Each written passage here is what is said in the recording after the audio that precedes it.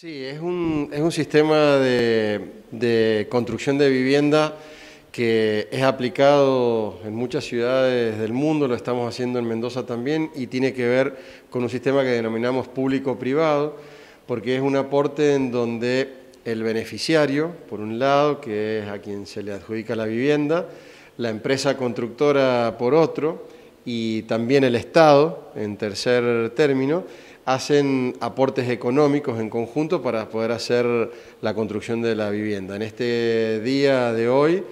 podemos celebrar que estamos entregando viviendas con esta metodología en Guaymallén y en Las Heras. Bueno, nosotros lo que buscamos con este método es poder aunar esfuerzos. La construcción de una casa eroga un sacrificio en dinero bastante importante que suele no tenerlo el Estado solo, suele no tenerlo la familia, si tuviera que iniciar desde cero con sus recursos solamente, ni tampoco la empresa constructora podría arrancarlo con recursos propios. Aunando el esfuerzo de las tres partes, se puede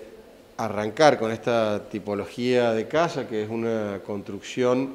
eh, contemporánea, una casa muy bien diseñada, con todas las comodidades, y poder ir sumando cantidades justamente porque tenemos un gran número de familias que necesitan tener su vivienda. Con esta metodología nosotros auguramos un formato bastante más accesible para poder llegar a la misma.